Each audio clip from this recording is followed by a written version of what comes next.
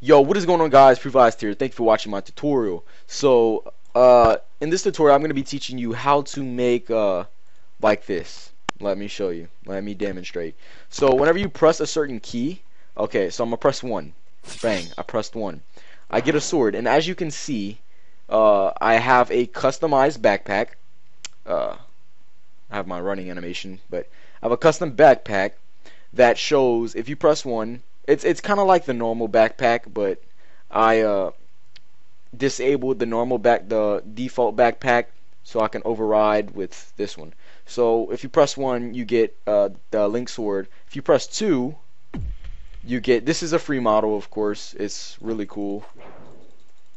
Uh, now I don't know if you guys would want a tutorial on the camera, how the camera is. As you can see, I can kind of rotate like this, and then whenever you go left, right, back. Yeah. I don't know if you guys want a tutorial. It's pretty simple. But I like how whenever you like swing the sword, your camera kind of moves. It's really cool.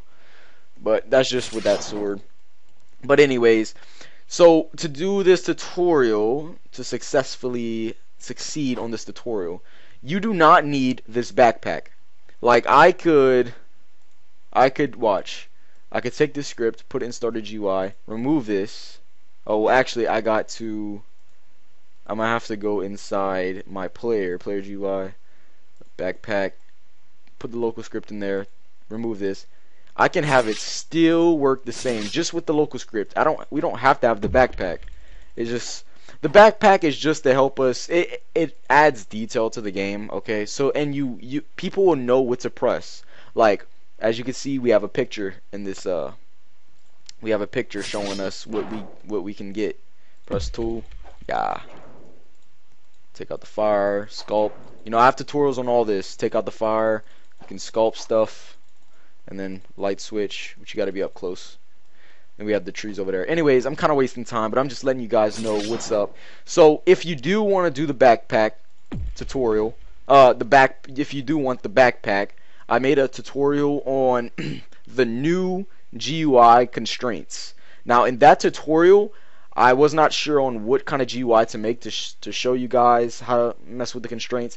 So I ended up making like a backpack. Now the backpack didn't look exactly like this, but it was kind of like this. You know how everything's set up.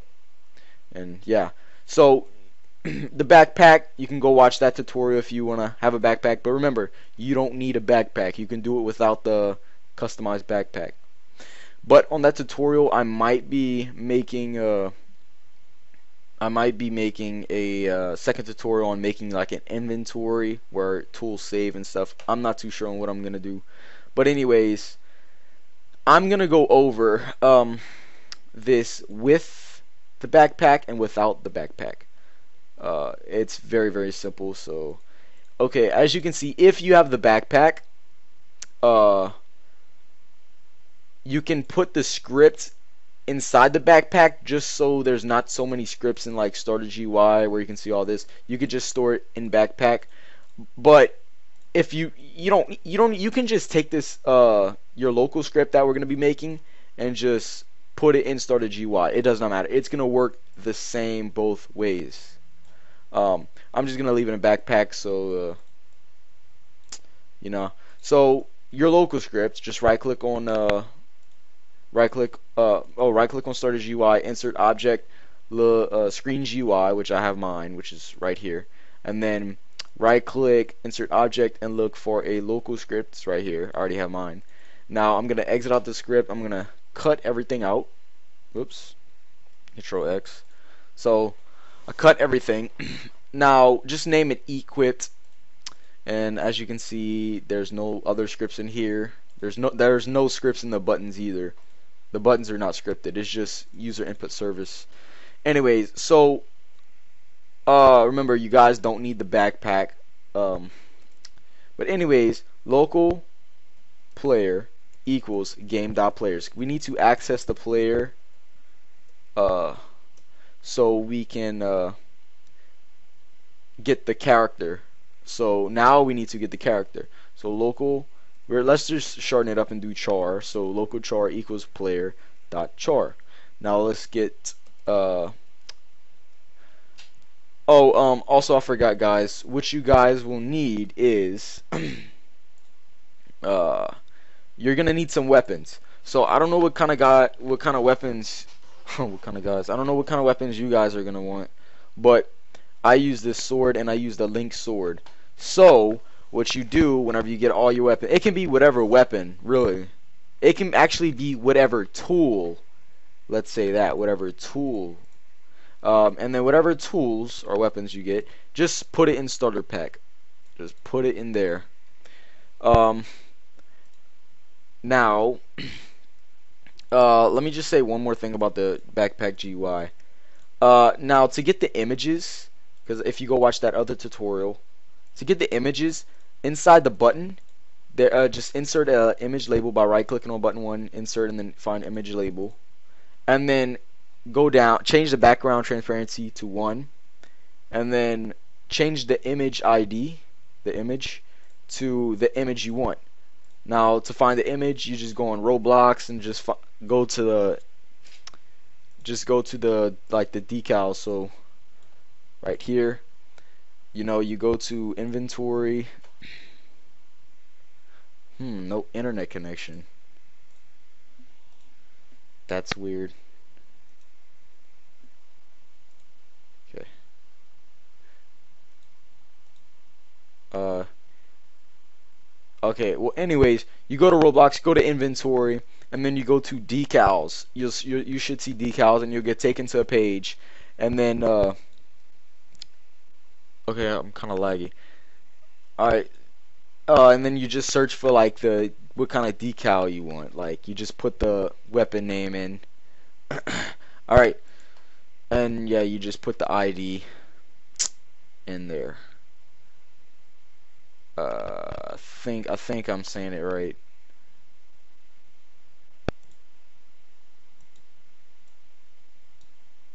Anyways, yeah, just find your ID. Alright.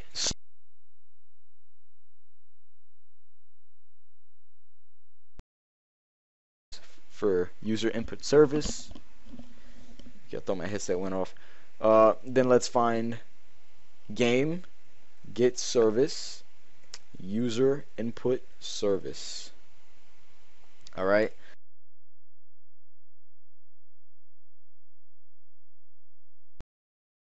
Interact with your key. You can interact with your keyboard and make input uh, to the client, if that makes sense, or send input.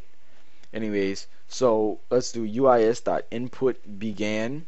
So input began is a event of user input service and then we'll have a uh, parameter of input so let's check if input dot keycode is equal to enum dot keycode dot uh, one because one is the number uh, make sure it's not the number one make sure it's spelt out like I have right here spelt out then uh, we need to make a debounce. So debounces are kind of hard to explain. So let's just do it. Uh, I don't know why I put if local um, local. Uh, let's just do uh, equipped equipped equals false because we did not equip it. Now we're going to check if equipped is equal to false, which it should be because it's the variable is set to false over here, so it should be. Then equipped equals true, and then we want to uh, equip the sword. So what we're going to do is go inside the character, then go into the humanoid. Now there's this new function I uh, I learned today. Uh, it's called equip uh, equipped uh, tool. Yeah, I think that's it. Yeah, equip tool. And then, so we go in the, uh, we equip the tool in the humanoid, and then we access, so we find the tool. So we go, uh, we stored it in starter pack. But we would go player dot player dot backpack because in uh it's it wouldn't be starter pack because inside the player there's something called ba- it's like everything inside of starter pack gets replicated to the player uh, whenever the server starts. Backpack dot uh, let's do wait for child and then linked linked sword. Sword. All right okay why did oh yeah okay it's adding that parentheses because we need another parentheses. Don't forget about that. All right now if you guys get any errors whatsoever leave it in the description. Um not description the comment section. Okay uh so um, let's see what else I could think. So, uh, just got to check my headphone for batteries. I mean, to see if it needs to be charged. But if equipment is equal to false, then equipped is true. We equipped it. Okay. Uh, now we're gonna add an else. Uh, so else, so it, else is saying if it is true, then we make equipped equal false. Whoa, false. Uh, and then there's uh, then we do char dot humanoid noid uh, un e I think I spelled this right unequip uh, e can't spell this unequipped unequip all wait unequip tools that's it tools think I spelled that right and yeah so let's let's uh now let's make another if statement. So copy this paste. Now we change this to 2 now I don't know how many weapons you guys are gonna have but since I have two weapons uh, so far uh, I'm just gonna be doing two if statements. Now if you guys have like three then you know you would paste and then change this to three you know, and then just move along how I'm doing with uh, this second one. And then all you got to do is change it to the sword name, and it's that simple. So, Azure, yeah, sword. All right. Okay, okay, okay. Uh. Oh yeah, all this stuff is popping up because my connection is off at the moment. Oh, and also, Oh, I don't know why it's letting me be able to test either. I don't know why it's letting me test. My connection's off. But, hmm. Let's see if I can. Hmm. That's so weird. Um. Hold on. I would want to cut this out in the tutorial, but it's all good. I'm not a professional YouTuber. If I was, I would definitely cut that part out what just happened. Okay, so I'm gonna clear all this. Now I'm restarting my internet. Anyways, I'm glad it didn't kick me out of studio. I don't want to have to redo this. Okay, so um what was i forgetting? Oh and also another thing what we can do is select the tools and make sure can be dropped is false because we don't want the tools to be able to be dropped you know? You know you know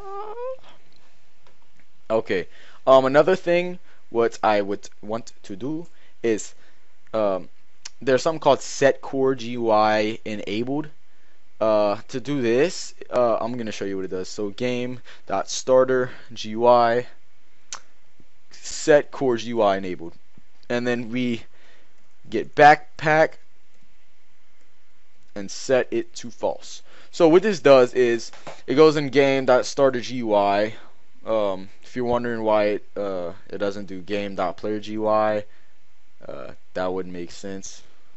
If, if just if you were wondering, because uh, there's nothing called player GUI, it's just saying. So game.starter.gui. Uh, and then there's this function set core GUI enable. So, and uh, the first parameter is backpack. This is saying what you want to disable. Well, false means disable, true mean true means enable. But as you can see, I'm disabling something. I'm disabling backpack, which backpack is like whenever you okay, so there's at the top an icon right here, the backpack. See, I uh, probably made an error. This is the backpack So I want to disable that. Now let's see what kind of error we got. Okay, first off, we're getting charged, not a valid member of player. That's one of the errors. Okay, yeah, yeah. That character. Yeah, I don't know why I did that. Character.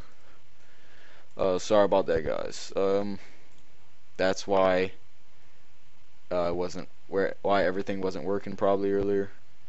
Uh, let's see if we got anything else. Oh, yeah, yeah. It, okay, it worked now. All right. As you can see, uh, the the code is not working because of internet connection. So let's see what I can if I can enable this right quick. See, I'd be cutting this part out if I was professional.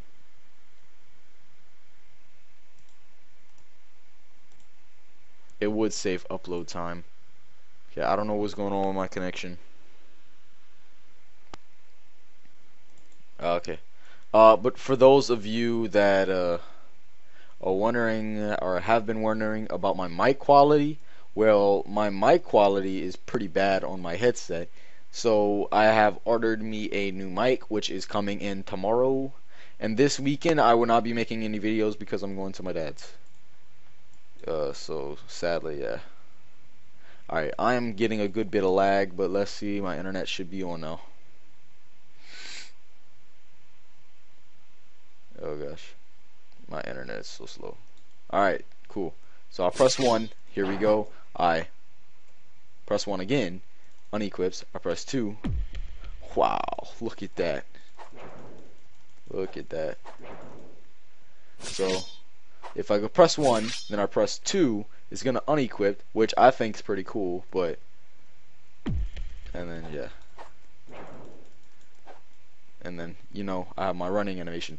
Now, if if you're making a game like this with uh, tools where you press 1 and stuff, like a custom backpack, I'd be sure I'm having a good bit of lag because my connection and computer processor. But, uh, if you want, I think this running animation looks pretty cool. If you want to learn how to make a running animation, uh, go check that out. Uh, I just made the tutorial like yesterday, I believe. Uh, so go check that out. But anyways, that's pretty much it, guys. I hope you guys enjoyed. Peace out.